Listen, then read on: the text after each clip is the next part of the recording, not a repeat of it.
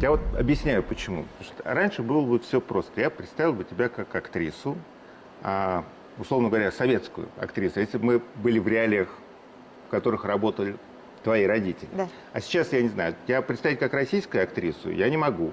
Ты как бы из Казахстана снимаешься и, и там, и здесь. Я в России представляю казахстанский кинематограф.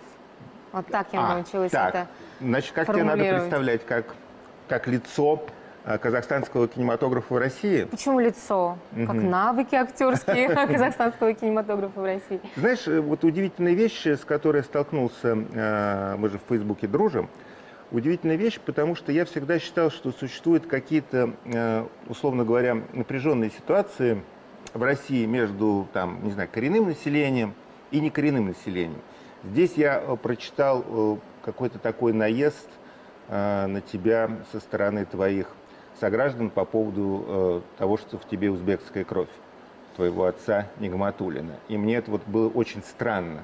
Потому Это, что это я вообще, об этом в принципе, странное я явление, да? Наезд по да. национальному признаку. Это вообще очень это Это, удивительно. ну, это есть ведь? Нет, на самом деле вопросов много. Мгм. То есть вопросов касательно национальности много. И я вообще не понимаю, как реагировать, когда люди начинают говорить, ну вот ты же казашка, как ты можешь сниматься в России? Ну Так. вот ты же, а, твой же отец родился в, Узбекис- а, в Кыргызстане вообще. Ну, то есть Ага. там... Нигматуллин, он э, узбек, Он родился- но, но родился... Он татарин, но Нигматулин, Женя. А он не узбек. Нигматулин. Фамилия у человека Нигматулин. У него есть узбекские какие-то там тоже родственники, естественно.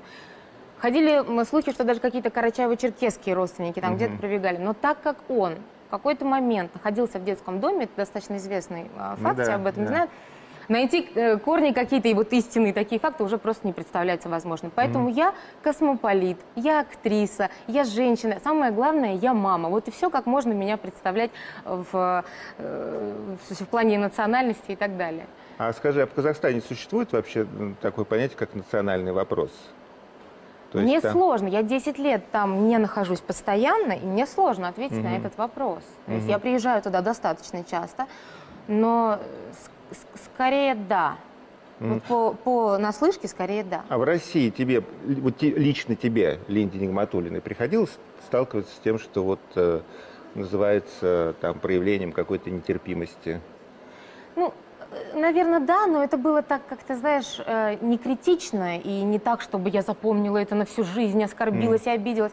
Бог бережет меня, потому что, возвращаясь к квантовой физике, э, твое пространство начинается с тебя. То есть ты вот свой мирок, вот этот мир, ты можешь увести в любую страну мира, где бы ты ни находился. И вот жить по этим же алгоритмам, старым своим парадигмам, те, которые ты уже для себя осуществил, вот этот мой алгоритм движения. И он будет э, с тобой таскаться по всему миру, и тебя не будут касаться какие-то страшные штуки. Я полностью в этом уверена, и вот она я этому пример.